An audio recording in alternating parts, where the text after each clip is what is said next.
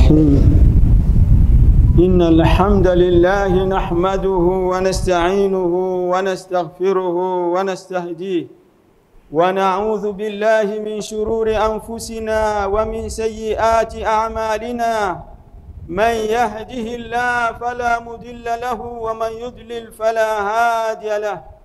ونشهد أن لا إله إلا الله وحده لا شريك له. ونشهد أن حبيبنا وشفيعنا محمدا عبده ورسوله صلى الله عليه وسلم وعلى آله وصحابته ومن تبعهم بإحسان إلى يوم الدين. أما بعد عباد الله أوصيكم وإياي بتقوى الله حق تقاته لقوله سبحانه وتعالى يا أيها الذين آمنوا اتقوا الله حق تقاته. ولا تموتن إلا وأنتم مسلمون. وقال أيضا يا أيها الناس اتقوا ربكم الذي خلقكم من نفس واحدة وخلق منها زوجها وبث منهما رجالا كثيرا ونساء واتقوا الله الذي تساءلون به والأرحام. إن الله كان عليكم رقيبا. وقال أيضا يا أيها الذين آمنوا اتقوا الله وقولوا قولا سديدا. يصلح لكم أعمالكم ويغفر لكم ذنوبكم. ومن يطع الله ورسوله فقد فاز فوزا عظيما. أما بعد baada ya kutanguliza jina lake Mwenyezi Mungu mrehemevu mwenye kurehemu na kumsifu kwa sifa zake za ukamilifu na kumwomba msaada na msamaha na uongofu na kumwomba atukinge kutokana na shari za nafsi zetu na vitendo vyetu viovu. Hakika aliongozwa na Mwenyezi Mungu, hakuna kumpoteza. Na yule ambaye Mwenyezi Mungu amemwacha ndani ya upotevu wake baada ya kumfikia ujumbe na uongofu kutoka kwa Mwenyezi Mungu, mtu huyo akakosa mwenyewe kuufuata na kuelekea, hatopata mwingine wa kumwelekeza, kwa kuwa Mwenyezi Mungu mwongoza mwenye kuelekea tunashadilia kwamba hakuna Mungu mwenye haki ya uungu na kuabudiwa isipokuwa Mwenyezi Mungu peke yake. Pia tunashadilia kwamba mpenzi wetu na mwombezi wetu siku ya Kiyama Muhammadi kuwa ni mja wake na ni mtume wake. E, rehma za Mwenyezi Mungu na amani zimteremkie yeye pamoja na watu wa nyumbani mwake na sahaba zake na watu waliofuata kwa wema hadi siku ya Kiyama. Nasi pia tunamuomba Mwenyezi Mungu atujalie kuwa miongoni mwa hao waliofuata kwa wema. Baada ya ndugu Islam, na kuhusieni nyinyi pamoja na mimi tumwogope Mwenyezi Mungu kweli wa kumwogopa, kama alivyotuhusia aliposema kwamba enyi ambao mlioamini mwogopeni Mwenyezi Mungu kweli wa kumwogopa, wala msifikie kufa isipokuwa mfele hali nyinyi ni Waislamu. Pia akasema enyi watu mwogopeni Mola wenu, akakumbia kutokana na nafsi ya, ya mtu mmoja ambaye ni Adam, kisha akamuumba mkewe Bi Hawa kutokana naye kisha akatawanya na akazagaza ulimwengu mzima wanamume wengi na wanawake wengi. Kwa hiyo mwogopeni Mwenyezi Mungu ambaye mnaombana kwa jina lake, na mwogope kata vizazi ambavyo Mwenyezi Mungu ameunganisha na saba ameunganisha koo kwa vizazi, na nyie pia unganisheni vizazi, muunganisheni udugu. Hakika Mwenyezi Mungu jueni mwenye kuchunguzeni. Pia akasema enyi ambao mlioamini mwogopeni Mwenyezi Mungu na mseme kauli yenye kunyooka. Kauli yenye kunyooka ni kauli ya kweli, kauli ya haki katika mazungumzo yenu, katika mabaraza yenu, katika mikutano yenu, katika shughuli zenu na kazi zenu na biashara zenu na mambo yenu yote, mwe wa kweli. Ikiwa mtakuwa wa kweli katika maisha yenu yote, basi Mwenyezi atakutengenezeni vitendo vyenu vitaongoka na atakufutieni dhambi zenu, na mwenye kumtii Mwenyezi na mtume wake tayari umekwisha faulu, kufaulu kuliokuwa kukubwa kwa maisha ya milele. Wendu Waislamu, tumwogope Mwenyezi kwa kumwogopa, ambao ndio msingi wa dini ya Mwenyezi Mungu na ndio msingi wa ibada zote. Kabla ya subhanahu wa ta'ala, ya ayuha nnasu ttaqu ya ayuha nnasu ubudu rabbakum alladhi khalaqakum walladhina min qablikum la'allakum tattaqun, enyi watu muabuduni Mola wenu ambaye alikumbeni nyinyi pamoja watangulia kabla yenu, ili mpate kumcha Mwenyezi Mungu. Kwa hiyo ucha Mungu ndiyo malengo ya ibada zote, ili ibada hizo zijenge uchamungu, ziingize uchamungu katika nyoyo zetu, ili tupate kuwa wenye kuyaepuka yale aliyoyakataza Mwenyezi Mungu Subhanahu wa Ta'ala popote tulipo. Kwa hiyo maudhui ya khutba yetu ni kuhusu saumu ya mwezi wa Ramadhan ambayo Mwenyezi Mungu amefaradhisha katika mwezi wa Shaaban ili Waislamu wa, wa wafikishiwe ujumbe Shaabani yote nzima kuhusu saumu ya Ramadhani. Kwa hiyo ndugu waislam khutba yetu itakuwa ni kuhusu saumu ya Ramadhani na kufahamisha hikma yake kama inavyoeleweka, na baada ya hapo na ku yani na kubainisha namna gani Mwenyezi Mungu alivyorahisisha alivyowaruhusu au alivyowarahisishia alivyowaruhusu watu wenye kuwa na udhuru akawapunguzia uzito, na wale wenye kushindwa kufunga akawaondolea uzito wa kufunga, akawaruhusu kutoa fidia kutokana na maneno yake subhanahu wa ta'ala aliposema kwamba ya ayuha alladhina amanu kutiba alaykum siyamu kama kutiba ala alladhina min qablikum la'allakum tattaqun, enyi ambao mlioamini, imelazimika imefaradhishwa imelazimika juu yenu kufunga kama ilivyolazimika kwa waliokuwa kabla yenu, ili mpate kumcha Mwenyezi Mungu.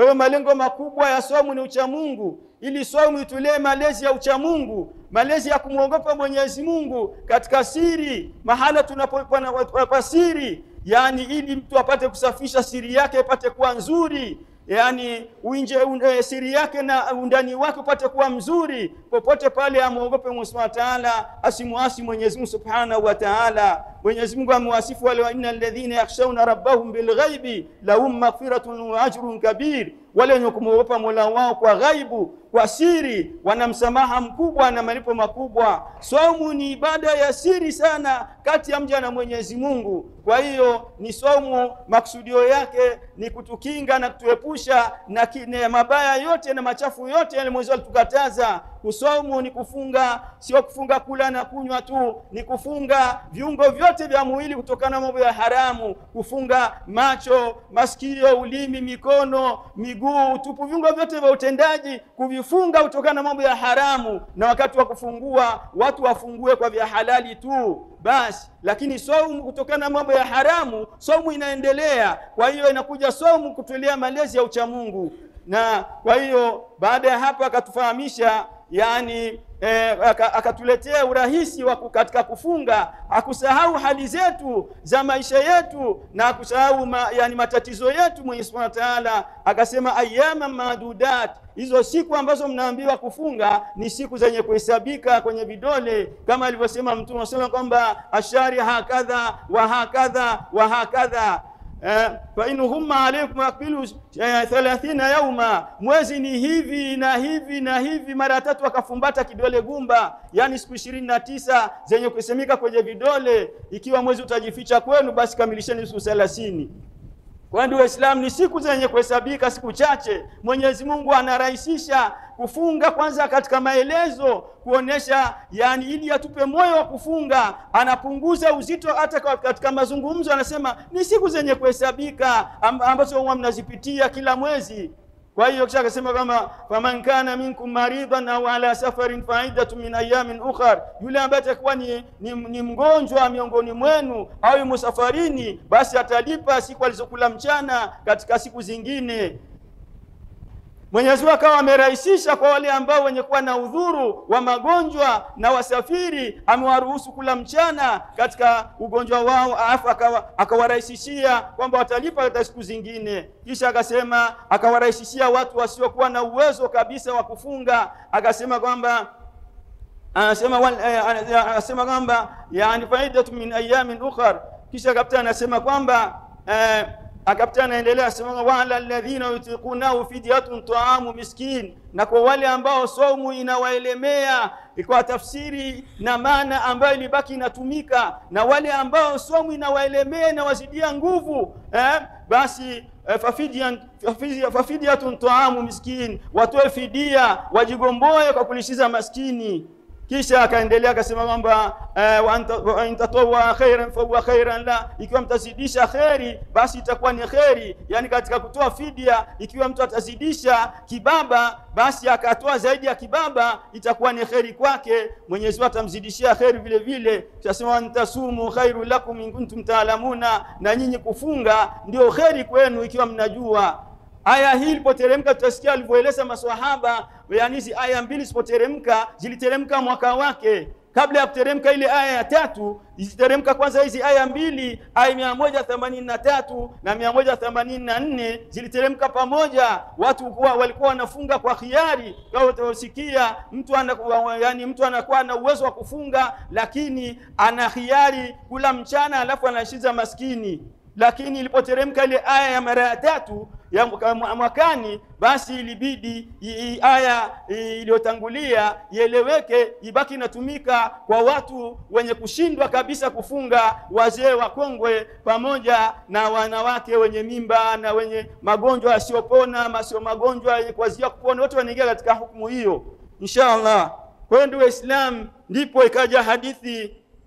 E, baada ya hapo ikateremka aya nyingine hiyo aya iliyoteremka mwakani yani ika, ikawa ni aya ya 185 aliposema subhanahu wa ta'ala shahru ramadhana alladhi unzila fihi alquran mwezi wa ramadhani ambayo imeteremka ndani ya Qur'an hudan linnasi wa bayinati min alhuda. Qur'ani hiyo ni uongofu kwa watu na ni ubainifu unaobainisha uongofu na kuweka wazi walfurqani na kufarikisha baina ya haki na batili. Kwa hiyo ndugu waislamu ndio mwenzao kaptana lazimisha kufunga akasema faman shahida minkum shara faliyasumu kwa hiyo yule ambaye atashuhudia mwezi ukaandama yuko mjini si msafiri uh, yani uh, faliyasumu basi aufunge alafu ndio akaendelea sema yuridu llah waman kana minkum mariban akarudi tena kusema yule ambaye atakuwa miongoni mwenu mgonjwa atakuwa ni mgonjwa uh, au ala safari safarini au yumo safarini faidatu min ayamin ukhar atalipa idadi ya zile siku alizokula mchana katika ugonjwa au safarini katika siku zingine idadi ya zile siku atazilipa. Na katika kulipa si lazima afatanishe kama vile mwezi wa Ramadhani, bali mwenzao amerahisisha, yani ametuwekea wepesi ili tuweze kutekeleza amri yake kulingana na uwezo wetu, kulingana na hali zetu. Ndiye akasema kwamba yuridu llahu bikumul usra, Mwenyezi Mungu anakutakieni mepesi, wala yuridu bikumul usra, wala akutakieni magumu. Eh, kisha akasema walitukmilu lidda walitukabiru llah ala ma hadakum walaalakum tashkuruna, na mkamilishe idadi ya siku za saumu, alafu mshakamilisha idadi ya siku za saumu, mumtukuze Mwenyezi Mungu kwa takbira, Allahu akbar, Allahu akbar. Ndio ndio kitambulisho cha sikukuu ya kufungua mwezi wa Ramadhani, huenda mkawa mmeshukuru katika kuyafanya hayo. Kwa ndugu Waislamu, ndipo zikaja sasa hadithi na athari katika kufasiri aya hizi. Ikaja hadithi kutoka sahaba Anas bin Malik, Mwenyezi Mungu amridhie, anasema kwamba eh, anasema kwamba qala rasulullah sallama inna allaha taala wadaa shatra salati ani lmusafiri waarkhasa lahu fi liftari waarkhasa fi lilmurdii walhubla idha khafata ala waladaihima rawahu ashabu sunani. Toka Anas Mwenyezi Mungu mridhia anasema kwamba amesema mtume wa Mwenyezi Mungu simwendee, haika Mwenyezi Mungu ameondoa nusu ya swala kwa msafiri, amemwondolea nusu ya swala, ya swala msafiri na akamruhusu yani kufu, kufungua kula mchana msafiri wa arkhasa fi lilmurdha, na akaruhusu kula mchana kwa mwanamke mwenye kunyonyesha na mwenye mjamzito, idha khafata ala waladaihima watakapochelea matatizo kwa watoto wao. Imepolewa na sahabu sunani. Eh, kwa hiyo pia ikaja waruya warawa Ahmad wa Abu Daudi eh, walbayaqi bisanadin sahihan Muadh bin Jabal, na akapokea Ahmadi na Abu Daudi na Albayaqi kwa mapokezi yaliyokuwa sahihi kutoka Muadh bin Jabal, Mwenyezi Mungu amridhie, qala, amesema inna Allah ta'ala farada ala nabii sallallahu alayhi wasallam siyam. Hakika Mwenyezi Mungu Subhanahu wa Ta'ala alifaradhisha juu Nabii Muhammad wasallam kufunga. Faanzala akateremsha ile aya ambayo tumekusomeeni e, katika aya ya mwanzo wa surati al-Baqara hadi aya yenye kufuatia aya 183 na aya 184 tumeshazisoma na kuzifasiri. Akamteremsha hizo aya katika mwaka wa, wa mwanzo, yani ilikuwa yani Mwenyezi Mungu alipofaradhisha somo ilikuwa tarehe mbili e, siku ya Jumatatu tarehe mbili mwezi wa Shaabani Mtume Salma akafikisha ujumbe kuanzia mwezi wa Shaabani, wote ulikuwa ni mwezi wa maandalizi ya, ya, ya, ya Ramadhani kwa kufikisha ujumbe na mafunzo ya somo, kwa sababu ni mengi. Haiwezekani watu wazungumze katika hutuba moja au wazungumze katika hutuba za Ijumaa peke yake, bali mwezi wote mzima wa Shaabani unastahiki kuwa ni mwezi wa maandalizi ya mwezi wa Ramadhani, kwa sababu kila aya moja hapa ina hadithi zake na ina maelezo yake marefu. Kwa ndugu Waislamu, ndipo e, Mwenyezi Mungu akawa ameteremsha mwanzo aya ya 183 na 184 tumeshazifasiri e, kwa maana ya kupurua. Asa fakana man shaa swama wa man shaa at'ama miskina faajzaa dhalika anhu, ikawa mwenye kutaka kufunga a, anafunga na mwenye kutaka analishiza maskini, alafu ule kulishiza wake maskini kunamtosheleza badala ya kufunga. Thumma inna Allah ta'ala anzala alayatu lukhra, kisha Mwenyezi Mungu akaja kuteremsha aya nyingine mwaka ulio ujao, yani akateremsha aya 185 ile ambayo inasema shahru Ramadhan inaanza shahru Ramadhan mpaka afika kusema kwamba faman shahida minkum shahra falyasumu, kwa yule ambaye ataushuhudia mwezi akawa yuko hadhiri. Maksudio ni mtu kuwa mjini kwake, si msafiri wala si mgonjwa, basi faliyasumu aufunge. Alipoteremsha kauli hiyo, ikawa sasa ndio anayetueleza Muadhi bin Jabali, fa athbata siyamahu ala almuqimi sahih Mwenyezi akawa amethibitisha amesititiza kuufunga mwezi wa Ramadhani kwa mtu mwenyeji aliyekuwa mzima warakhasa fihi lilmaridhi wal, wal, walmusafiri, na akaruhusu kula mchana kwa mgonjwa na msafiri. Akarudi ukariri hayo maneno tena katika aya 185 wa athbata lit'ami lilkabiri alladhi la yastatiu siyam, na akawa amethibitisha na amesititiza kulishiza chakula ya ambayo ni fidia ya kujigomboa badala ya kufunga lilkabir, kwa mtu mzee mkongwe ambaye anakula kama mgonjwa ambaye hana uwezo tena, la yastatiu alladhi la yastatiu siyam, ambaye asiweza kufunga. بارك الله لي ولكم بالقرآن العظيم ونفعني وإياكم بالآيات والذكر الحكيم وأستغفر الله لي ولكم المسلمين والمسلمات من كل ذنب فاستغفروه إنه هو الغفور الرحيم بارك الكريم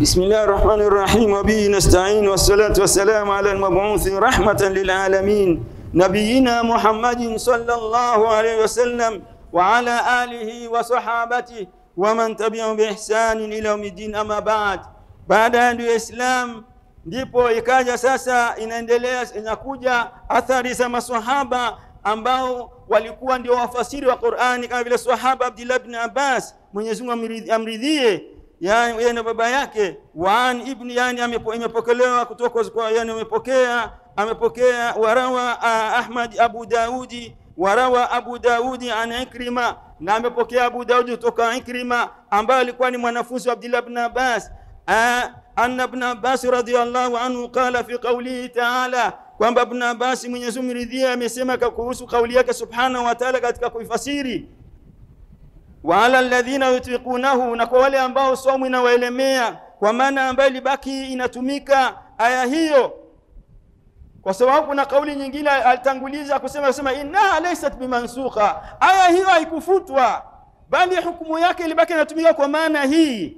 Akasema kwamba akasema Ibn Abbas akasema kanat rukhsa li sheikh al-kabir, hiyo aya imemruhusu mzee mkongwe walmaratu lkabira, na mwanamke mkongwe, wa huma yutiqani siyam, nao saumu inawaelemea inawashinda nguvu, an yuftira, wali inawaruhusu kula mchana, wa utimama kana kula yao mis, mis, miskina, na walishize mahala pa kila siku moja maskini.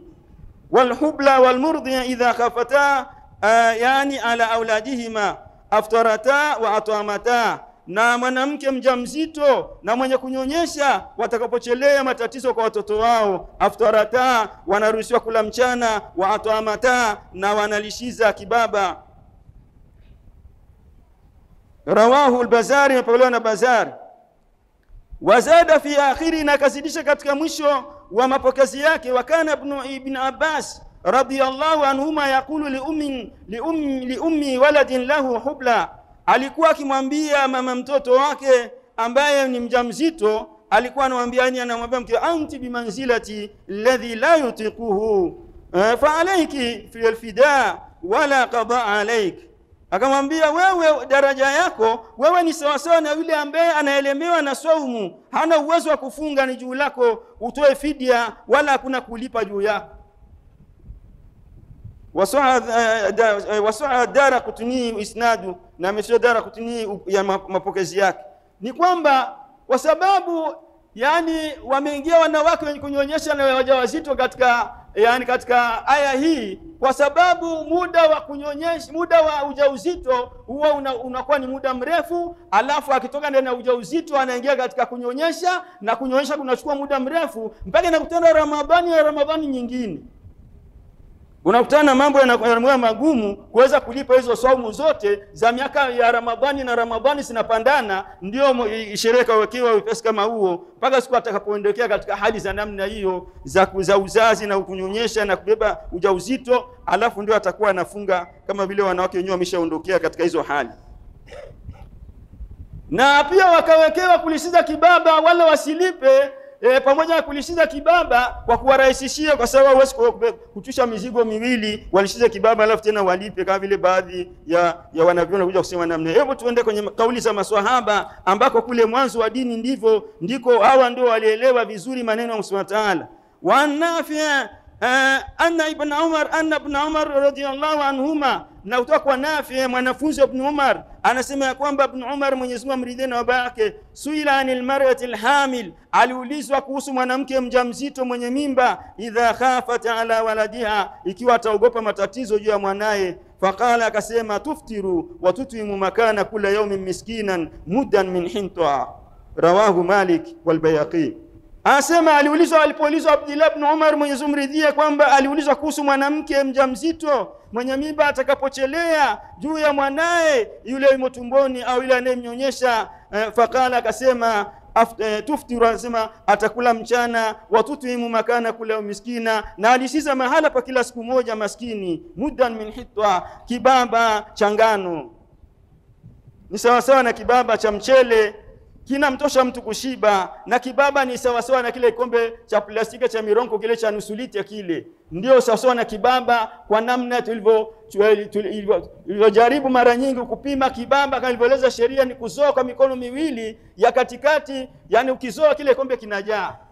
Kwa hiyo na pishi inakuwa ni vile vikombe vine, yani muddan min hintwa, kile kikombe moja cha mchele kinamtosha mtu mmoja kushiba kwa futari awala ukuambiwa mtimizie na mkaa na vitunguu na, na, na maharagi na mboga. Hapana, bali alikutwa anakula, alikutwa anaishi kwa kula kabla wewe haujampa hicho kibaba.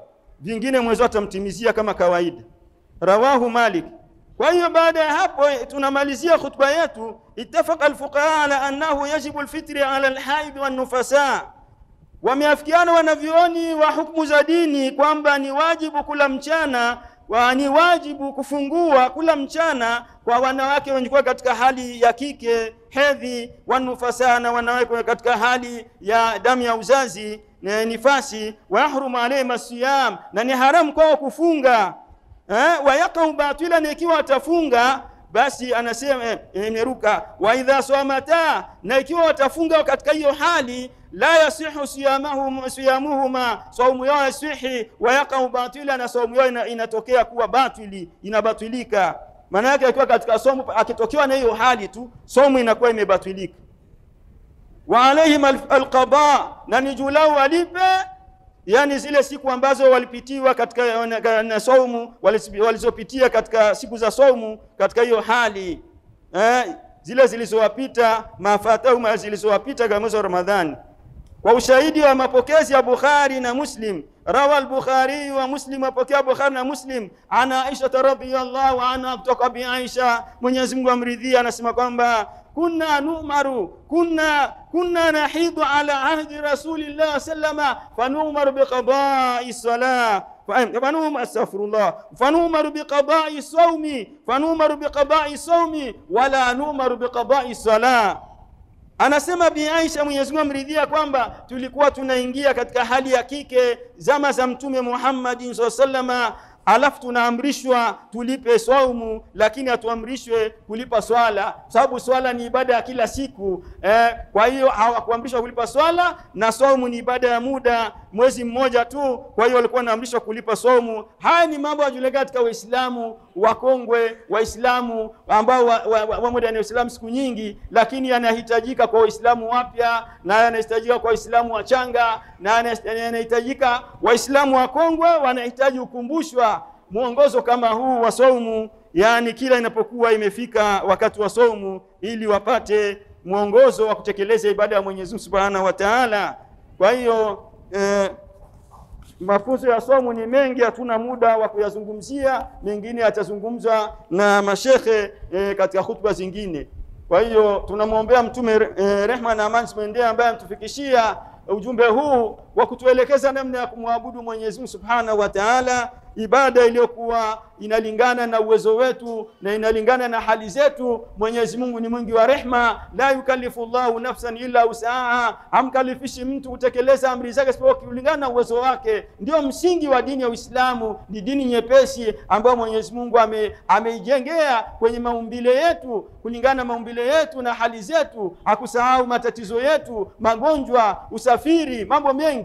Kwa ndugu Waislamu, tunamwombea rehma na amani mtume ambaye tufikishia ujumbe huu wa kutuelekeza namna ya kumwabudu Mwenyezi wa Ta'ala. Allahumma salli ala Muhammad wa ala ali Muhammad وبارك على محمد وعلى ال محمد كما صليت وباركت على إبراهيم وال إبراهيم انك حميد مجيد ربنا اغفر لنا والاخوان الذين سبقونا بالإيمان ولا تجعل في قلوبنا غلا للذين آمنوا. ربنا إنك رؤوف رحيم. وارض اللهم عن الخلفاء الأربعة أبي بكر وعثمان وعلي وعن الصحابة جميعا. وعنا معهم بعفوك وجودك يا أكرم الأكرمين. آه ربنا اغفر لنا والإخوان الذين سبقونا بالإيمان ولا تجعل في قلوبنا غلا للذين آمنوا. ربنا إنك رؤوف رحيم. اللهم اغفر للمسلمين والمسلمات والمؤمنين والمؤمنات الأحياء منهم والأموات. نستغفرك إنك أنت الغفور الرحيم وأنت البر الكريم. سبحانك اللهم وبحمدك نشهد أن لا إله إلا أنت نستغفرك ونتوب إليك. سبحان ربك رب العزة عما يصفون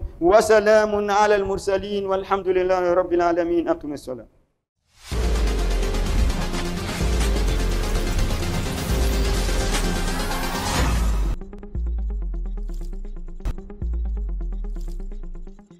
Anusra TV, elimu na maendeleo.